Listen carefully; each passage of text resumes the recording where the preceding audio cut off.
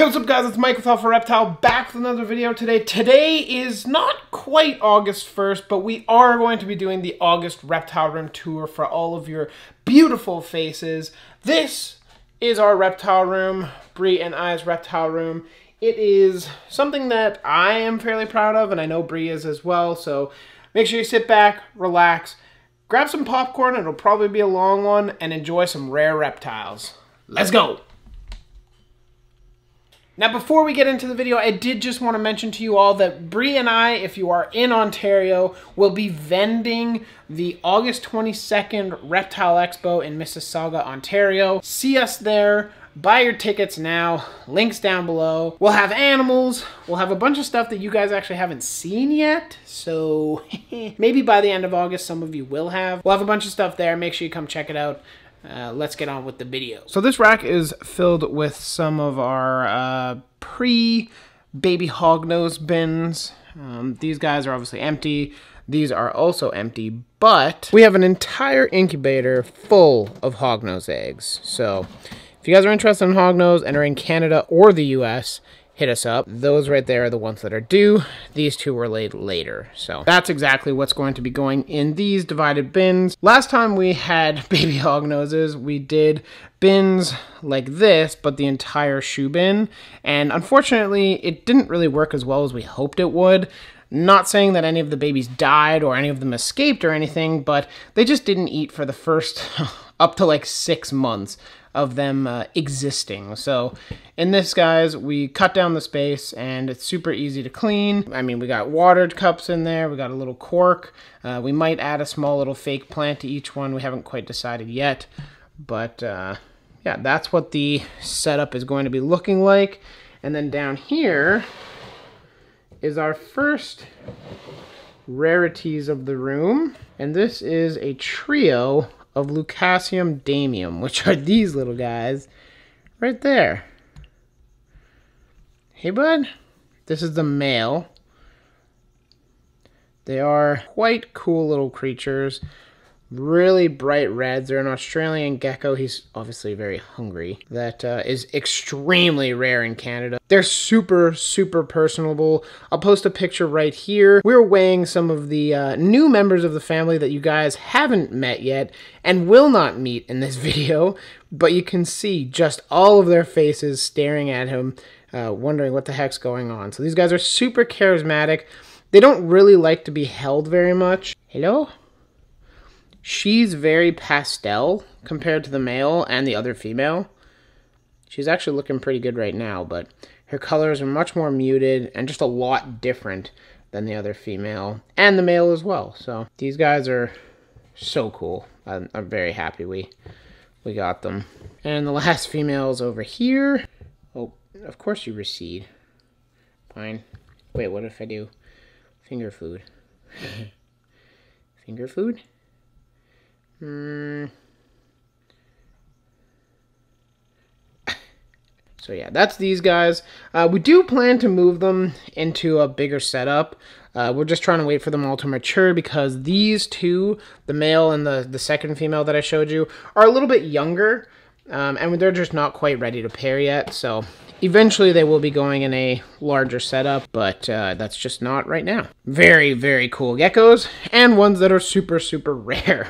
Um, but moving down here, we have my man Saguaro, which is a Arizona mountain king snake. This is Saguaro, again, Arizona mountain king snake, Lampropeltis, uh, Pyromelana. I believe he is a wooden eye, and he is a beautiful little guy. Uh, he's growing a lot. Uh, I mention it every video, but he will be, and the next one you're about to see will be going into these two PVC tanks right here. But, I mean, they're both still kind of small for that setup, and there's a lot of other setups that need to be finished before them. So, those will be done, but uh, just not quite yet. And in here is Bree... It's Bree's little goober. This is Scoria, Bree's gray banded king snake. Stunning example of a gray band. Just beautiful. Actually, they just ate, so I don't want to bug them too much. You can still see a big lump in her, so I'm just gonna let her be. Actually, I do kind of need you to move in order to put this back. I know you're filled with... Okay, sure. Just go right back in. There you go. Yeah, so that is Scoria. And then down here, we have Mabel. So this is just a normal female hognose. She just laid a clutch for us. This is Mabel. A just normal female hognose. Not het for anything as far as we know, but I guess if something really weird pops out of her clutch, then we'll know she's het for something. But uh, she laid a clutch of eggs for us. First year breeding. Very very pleased with her. She's doing fantastic, eating a bunch. And she's a pretty nice normal, all things considered. There you go. That's Mabel. And then uh, the rest of the rack is actually empty. With that being said, we can move on to our beautiful Fijian banded iguana. This is Totoka. He's a Fijian banded iguana or the Centralian Fijian banded iguana. He is about two and a half years old and he's going to be getting a much improved enclosure. Uh, I've teased it in some of the other videos. It's right now currently filled with bins and such, so I'm not going to show you guys right now because it's kind of messy, but uh, he's going to be upgraded into a fully custom 4 foot by 4 foot tall by 28 inch deep tank. Um, we got branches, we got plants, we got all this cool stuff to put in there with them. There's no reasonable argument for anybody to keep them in a tank of that size. So this was a temporary tank and he will be getting upgraded shortly. These guys are illegal in the States because of the Lacey Act. So you're not really going to see too many down there. I think they have them at like the San Diego Zoo and a couple other zoos down there, but for the most part, zoos don't even have them. Fortunately, in Canada, we don't have that same law, so we are able to keep them, thankfully. Sick animal. Love them so much. Down here, we got the Crazy Turts.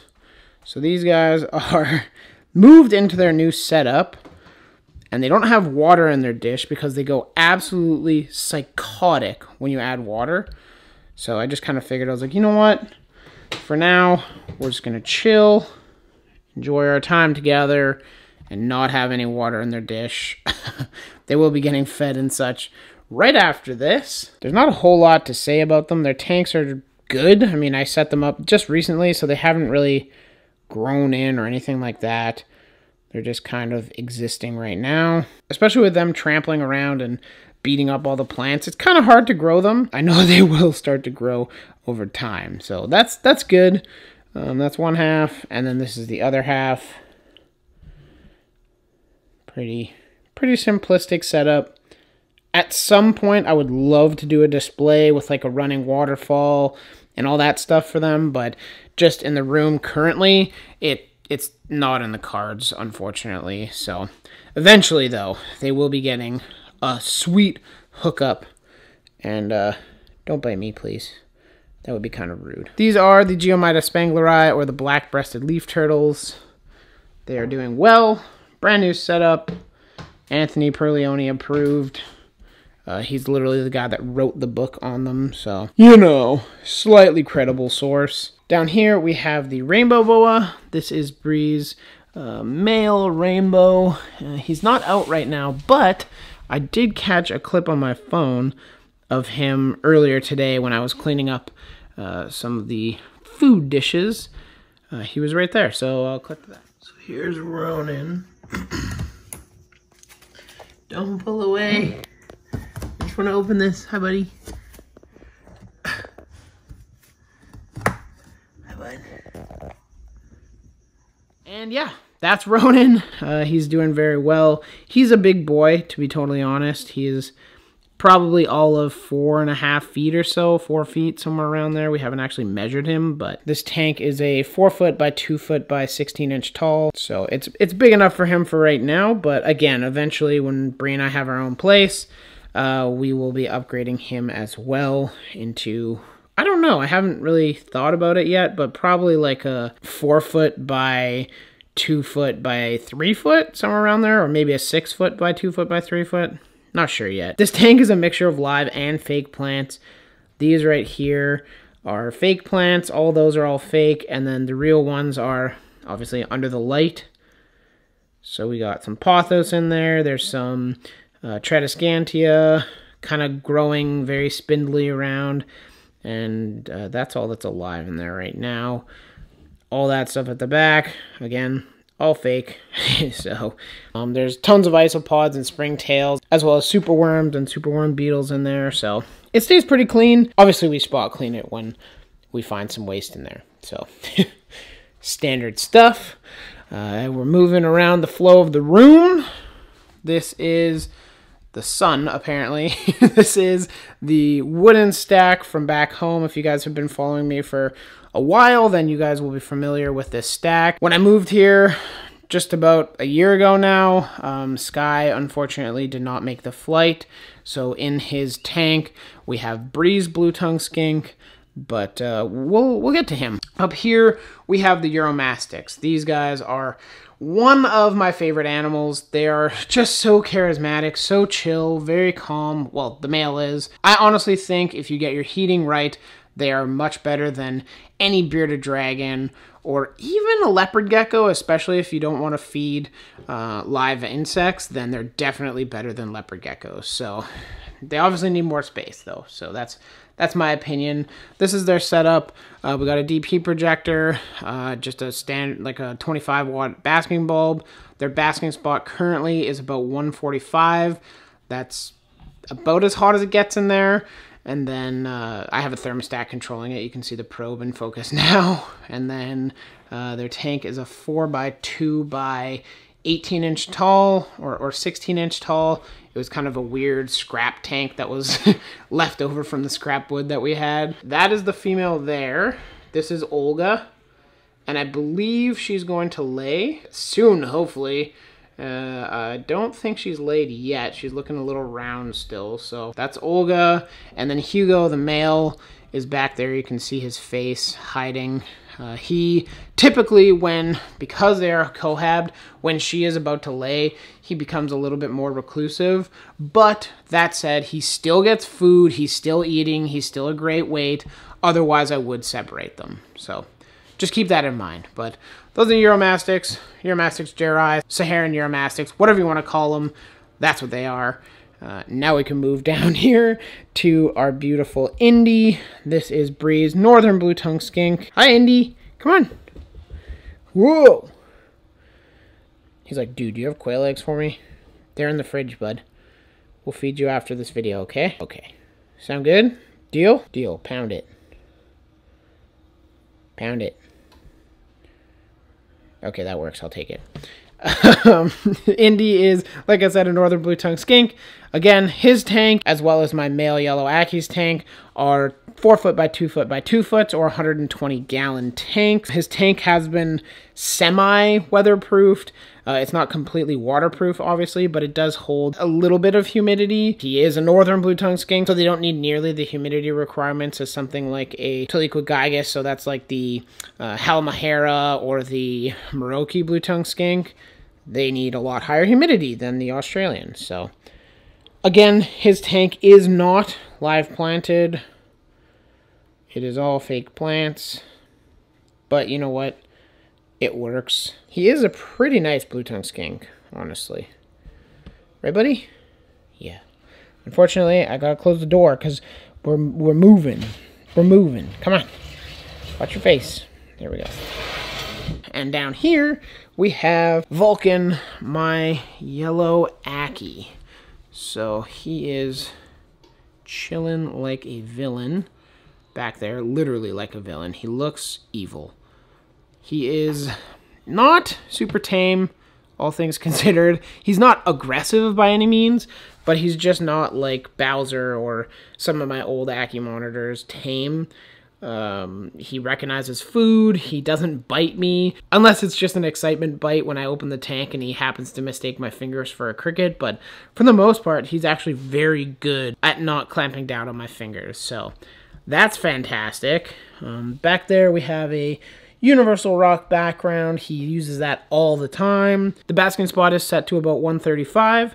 And yeah, the rest of the tank is all gravy. This is the minimum size I'd recommend for an Ackie monitor. Honestly, I'd rather do a 6x2x2 or even a 6x2x3. Every square inch of this tank is being used by him. And with that said, that back there, that's a live plant.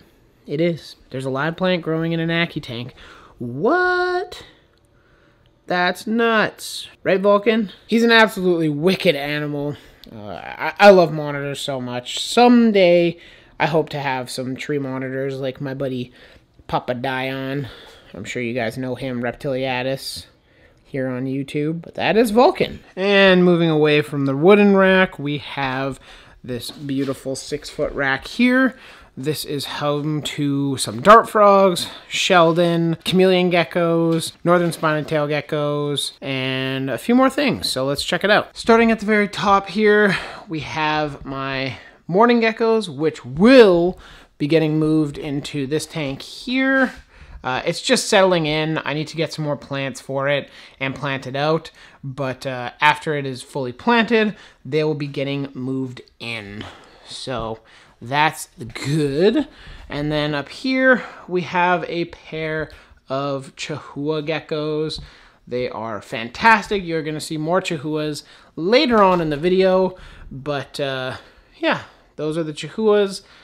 I'm not going to bother showing them. Again, I will be making a Meet My Pets, so chill and wait for that. Moving on to kind of a head height rack for myself, we have Eurydactylodes in these first two tanks that are kind of mirrored images of each other, I suppose. These are the chameleon geckos, chameleon tail geckos, whatever you want to call them. Uh, that is a Eurydactylodes occidentalis.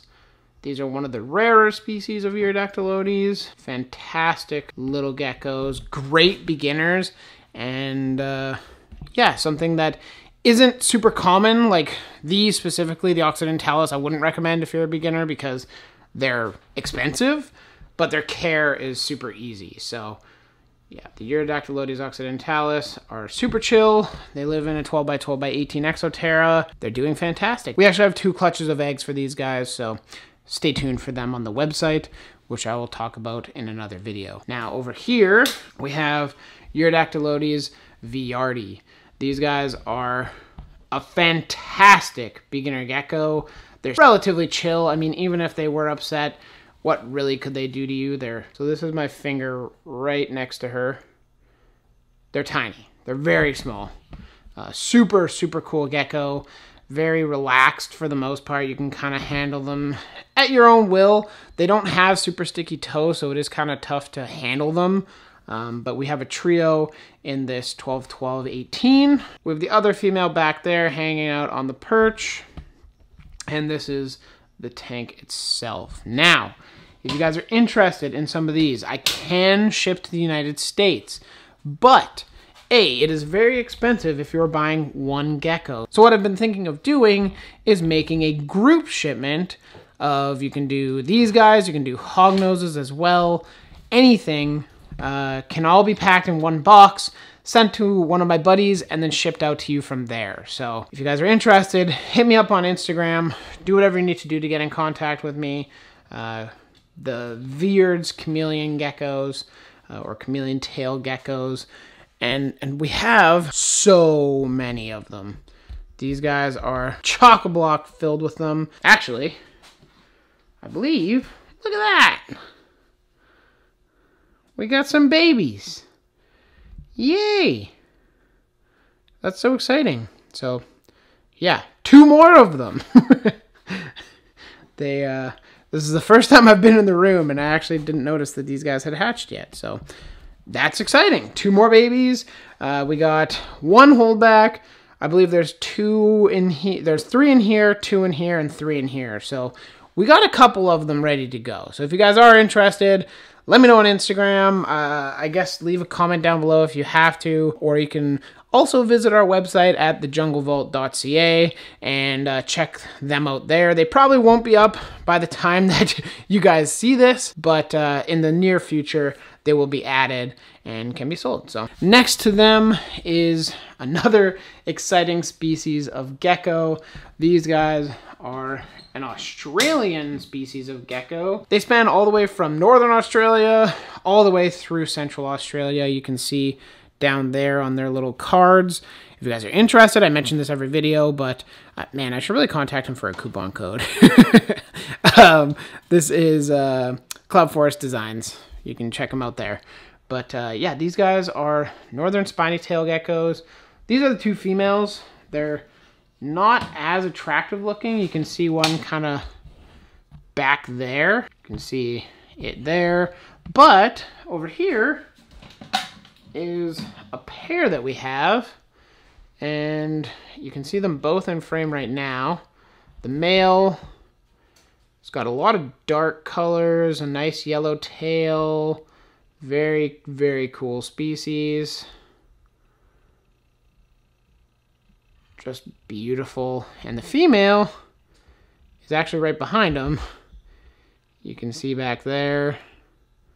She is another stunner. These guys are cricket crazy. When it comes feeding time and the crickets come out, these guys, both both pairs, the, the species in general, are completely batshit.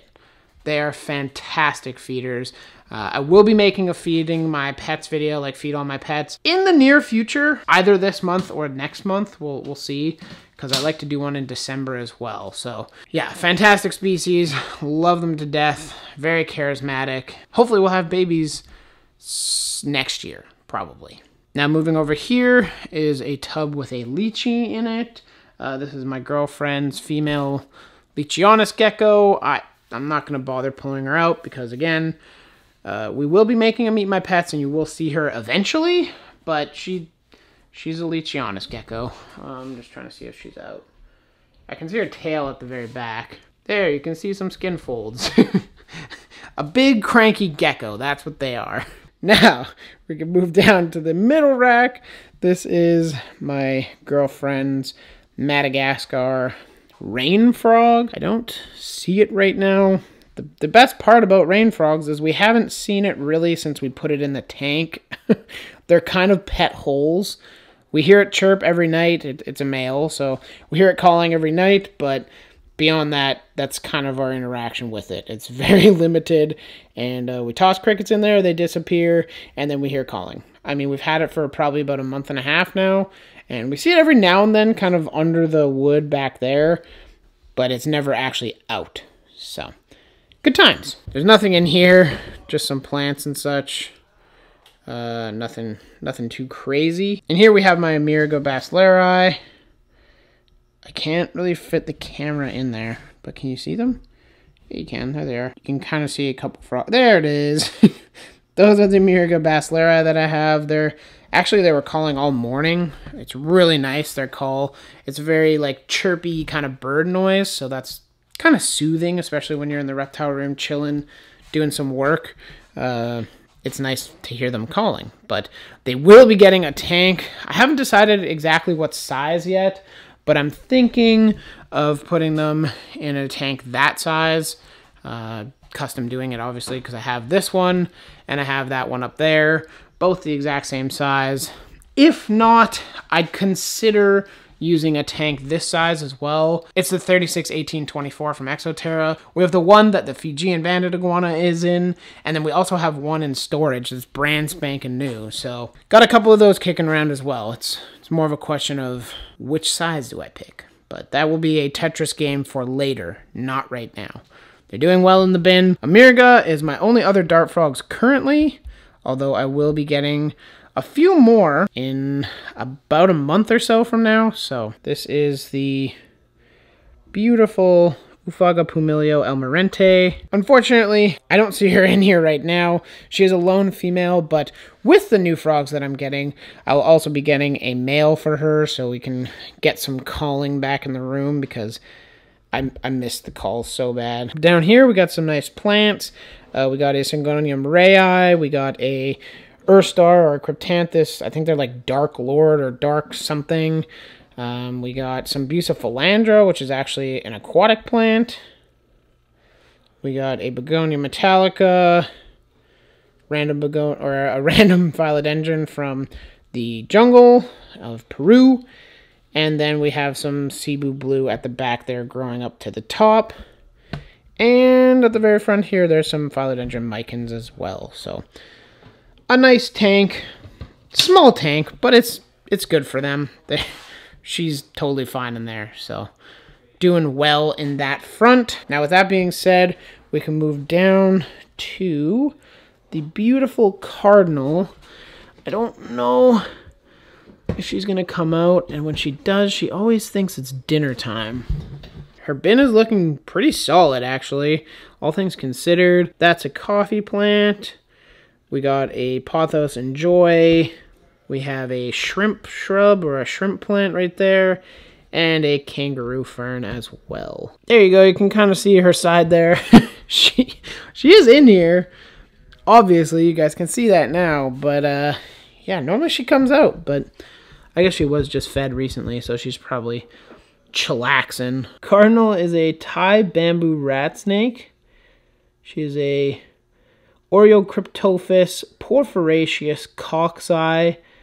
Good luck getting that right. It's not an easy name to pronounce, but that is cardinal. What's cool about them is they like their temperatures very cold. Like like 75 as their hottest. When you pick her up, you can feel just how cold and kind of icy she is, and they thrive at that temperature. So she's at the bottom with no heat, none of that kind of deal, and she's doing fantastic. So I'm really looking forward to getting her new setup done as well. Again, there's just so many projects to do. You're always upgrading something or working on this or working on that. It's never stagnant. Occasionally you get new animals as well. And then it becomes a entirely new process of upgrading and building enclosures and enjoying the process. Never a dull moment here. Speaking of new enclosures, Sheldon, the main man, the main man Shell, um, I don't want to hear anything about his water because I just changed that. Literally two minutes before I started filming, I changed it because he fills it up like it is now. Sheldon's an Eastern Hermann's tortoise. Uh, he's doing fantastic. He did recently get moved from under the table to on the rack, so that's nice. Uh, he's got UVB T5 hanging up actually here. Uh, and then he's got a heat lamp there. So he's doing okay, but uh, that's part of the process of getting her out is because then he will have this entire bottom shelf as a pen for himself, uh, which will end up being six and a half feet long by two feet deep by 16 or so inches tall, just basically tall enough for him to not get out.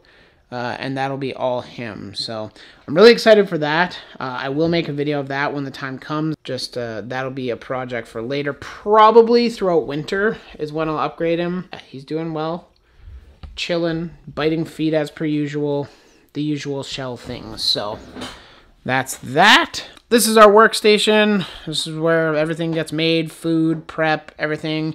Uh, it's not even really building new enclosures. It's mostly just feeding the snakes, feeding stuff, preparing Pangea, all that kind of stuff. And then over here, we have, I can't even really get it all in frame, but we have another rack of various goodies. Up top is all pretty much tropical plants, rare plants, aroids, that kind of deal.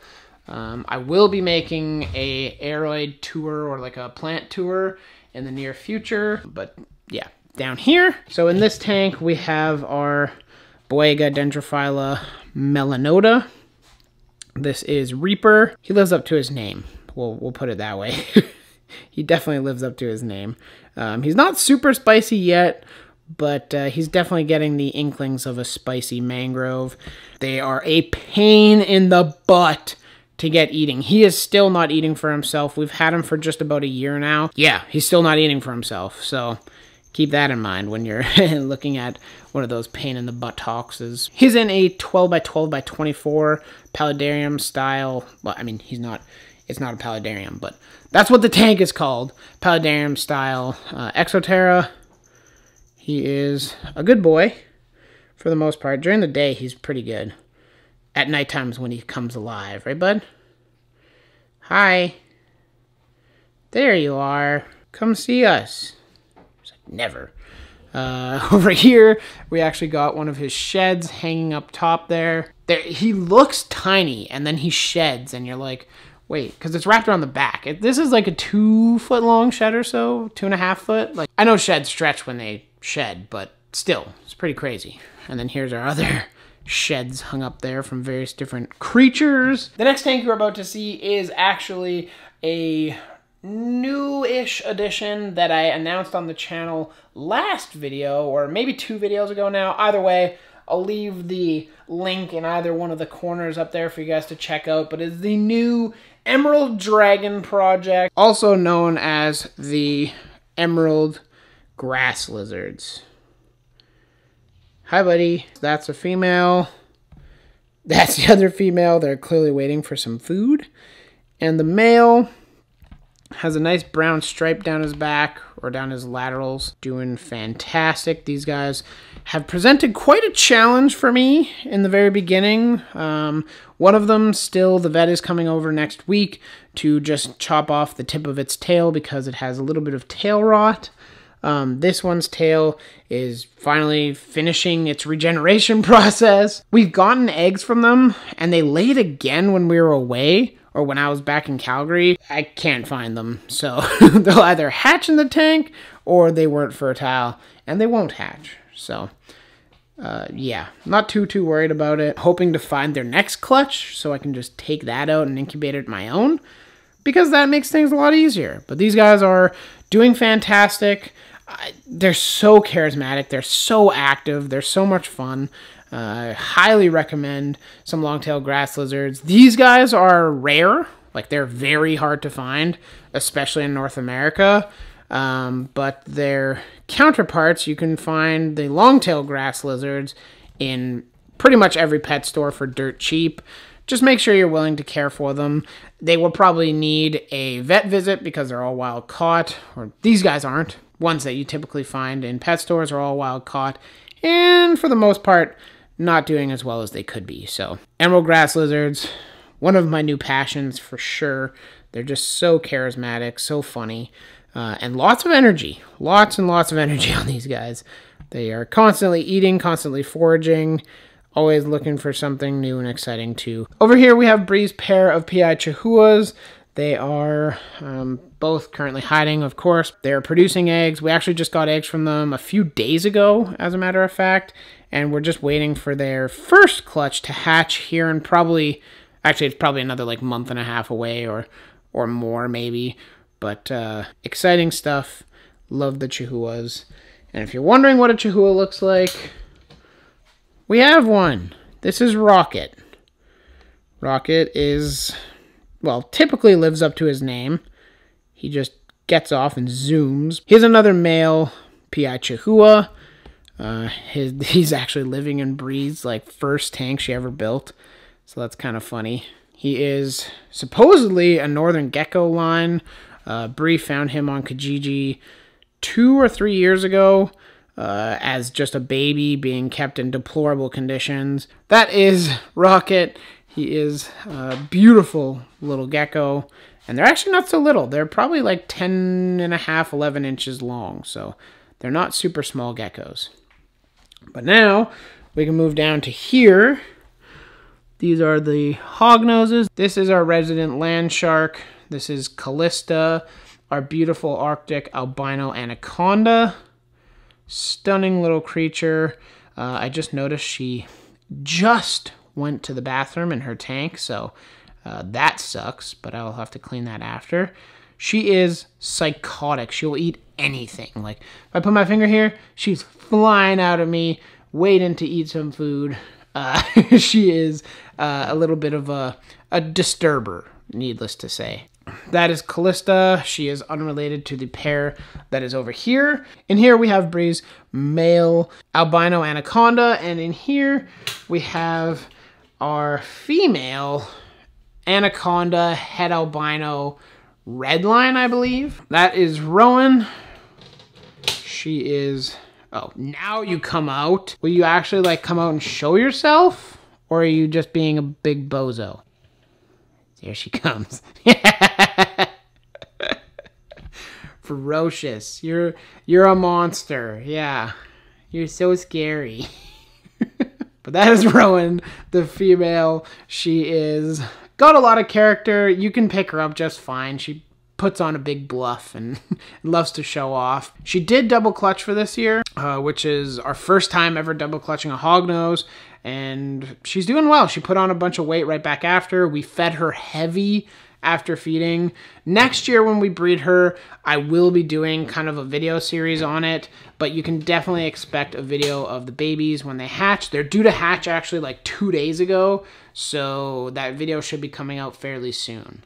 Uh, Lux, on the other hand, who's the male, is... Oh, you're actually there. Come on. This is Lux, the male albino anaconda, the father to all of our babies. He is doing a great job. Love him. Super chill. Um, he doesn't eat very much, though. Like, he's very reluctant to eat. Very sporadic eater. Doesn't lose a lot of weight. Like, he's totally fine, but just doesn't eat a ton. So, yeah, that's Lux. Hognoses are truly the best because they're super chill, they don't get very big, and they're, I don't know, they're very charismatic. But as babies, they can be a pain in the butt to get feeding. We're almost wrapped up the room. I really hope my battery can hold up to it. But we got over here a plant rack. Doesn't matter right now. Down here, uh, I'm just kind of flying through this. We have Striker. Striker is the OG of my channel. You guys know this. I've had him for 17 years. He's still going strong, still a good boy. He's he's always in the back there now. He only comes out really at nighttime, which is unfortunate, but he's doing fantastic in his uh, live planted setup. Every single plant you see in here is, well, mostly alive, but they are live plants, so uh, his tank's doing well. I do want to redo it at some point, though, because I just think that it doesn't look as good as it could. So we'll see what I can do, but again, that's very distant future, kind of like a, oh, when I'm bored, I'll do it, that kind of deal. but thankfully, I'm not bored very often, so. Moving on from Striker, up a row, and here we have the big-eyed tree frogs. Um, their tank is doing okay. You can tell that that begonia is, again, taking over as it usually does. Probably going to end up being for sale at the show. We haven't quite decided yet because, unfortunately, they're all males. Uh, we're really hoping to reproduce this, but uh, after Bree got home and she moved them in here, they were all calling, so that's unfortunate. But uh, the Exo Terra tank is doing all right. I don't like the water portion. I kind of wish that I never did it, but here we are. It's and it was, it was an experiment uh, with a higher barrier, more water, a better filter. I think it would have been fine, but uh, just in this kind of setup, it's just not ideal. But the frogs themselves are doing great. The plants, um, the Drylok kind of kills off plants at the very beginning, so that's unfortunate. But now the plants are starting to kind of get reestablished. You can see the Cebu blue there. Um, there's also a philodendron melanochrysum back there. There's a bulbophyllum orchid back there. There's some just random plants for the background. That very random bromeliad that Bree just happened to stick in the tank. I, I mean, I guess it's there now, so that's that. um, and then the philodendron Macaulay is doing really well, as you can see. Nice big red leaves. That was kind of my vision for this tank, is just kind of a creek's edge, massive leaves hanging over it. And so far it's doing well. I think we might be putting in, if we end up selling these, these are Bree's Frogs. I just know she's talked about it before. But if we do end up selling them, uh, we might end up putting these guys in there. Uh, not sure just yet, but these are actually right there. Cruziohyla craspedopus, fantastic species of frog. I get a ton of flack for keeping them in a bin, but look at this bin. Like, look at it. It's so lush. It's so full. it's massive. Uh, so I, yeah, you know what? Haters are gonna be haters no matter what you do. So I'm looking at you, Troy. By the way, hater Troy's a hater. I, I believe that's it. All the rest is just springtails, isopods, plants, plants, empty tank. That's kind of the room. I really wish I had a wide angle lens to show you guys kind of the full scale of it. But I'm very proud of it. Come on. What are you doing? Where are you going? What's the plan? Hop up. There you go. All right, you guys, that's going to end the video. Uh, Totoka chilling. I really hope he doesn't poop on my head. That would suck. But Totoka and I are going to get back to feeding everybody. I wanted to mention a huge shout out to my girlfriend Bree. Obviously, I couldn't do this all alone. Most of the stuff in here is either like co-owned or hers. So just keep that in mind when you guys are judging about how many reptiles we have. Uh, if you guys stayed to the end of this video, you probably aren't judging all that much. So I want to thank you guys all very much for watching. If you enjoyed the video, make sure you smash that like button. If you have any questions, comments, concerns, anything like that, leave it in the comment section. Uh, I get back to every single comment that I see. Ow. Oh. Oh, Iguana claws suck. Oh, I'm crying. Dude, that's the rack. Leave it alone. There you go. I get back. Bro! Climbing all over the camera all over. So thank you guys all very much for watching. Like I said, if you want to see more videos, Hognose Babies coming soon. Uh, many builds, a lot of tours of people's place, specifically of frogs, and a really cool um, chameleon room slash cool Uroplatus room. So that's coming at you. It's going to be a very busy month of August. I want to thank you guys all very much for joining me. Follow me on Instagram. Do all of the stuff. We'll catch you in the next one. Later!